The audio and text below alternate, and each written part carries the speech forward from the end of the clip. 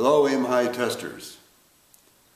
When I was up in Portland, I told some of you that failure is always an option. It's quitting that is never an option.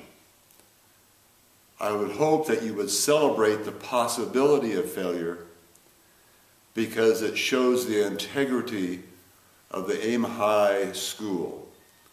When you're going for something like a black belt, you want to be your best, of course, but you want to represent your instructors and you want to represent your school.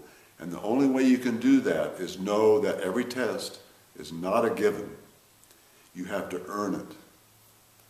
I know you guys are going to do well. I have complete faith in your abilities and your uh, perseverance and in your endurance to uh, ace this test. I have some other people here that would like to pass along some encouragement.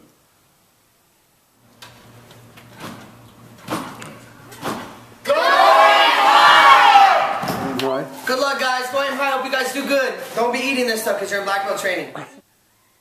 Thanks, guys. Those people were from George Fuji's West Coast Martial Arts School, part of kind of your sister organizations in that George was a student of uh, Tom Callos, much as Jeremy and Danny uh, were and are. So everyone's given you a lot of energy, sending a lot of energy your way. Do your best. High fives.